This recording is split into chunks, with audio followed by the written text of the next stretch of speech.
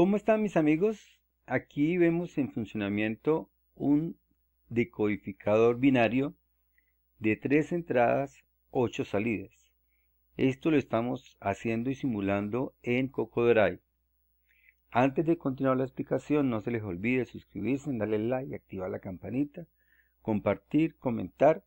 Esto es muy importante para yo seguir haciendo más videos. Bien, veamos. Tenemos un contador que me genera los números binarios del 0 al 7 aquí. Y este contador entra propiamente al decodificador. El, decodificador está compuesto, compuesto por 8 compuertas NAND de 3 entradas que a su vez las he invertido con compuertas NOT, NOT para que se conviertan en AND. En realidad aquí tenemos una compuerta AND. Y hemos entrado las combinaciones binarias para cada compuerta. Para 000 debemos invertir las tres entradas para que la salida sea 1 cuando el valor sea 000. Vamos a, vamos a parar el contador en cada combinación. Lo voy a hacer aquí con este enable, vemos que esté en 0. Listo, ahí lo paré. Ah, no, alcancé a pararlo bien.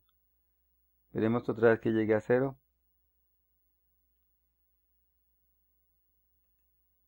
Listo. Entonces, cuando es 0, 0, 0, 0, 0, la, invierte las compuertas y aquí hay 1, 1, 1.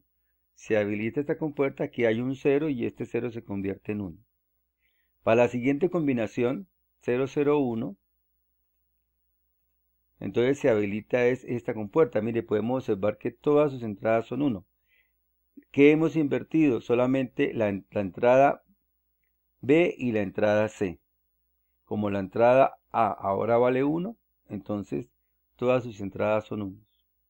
Miremos el 2. Entonces, ah, se me pasó hasta el 3. Bueno, en el 3, en el 3 eh, tenemos invertida C, pero B y A no están invertidas, por lo que valen 1. De esa manera tenemos el 1. Para el 4, entonces, aquí lo tenemos. Ahora la que no está invertida es C. En el 4, 5, 6 y 7, C siempre va a estar directo porque no está invertido el valor. Y volvemos a tomar A y B negados para la cuarta salida. 0, 1, 2, 3, 4. En la quinta, invertimos se me pasa la sexta. Bueno, en la sexta invertimos solo A y así obtenemos la salida en 1. Y en la salida 7 no invertimos ninguno. De esa manera tenemos nuestro decodificador binario con 3 entradas y 8 salidas. No se les olvide suscribirse, darle like, activar la campanita, compartir comentar. Esto es muy importante para yo seguir haciendo más videos. Muchas gracias y hasta luego.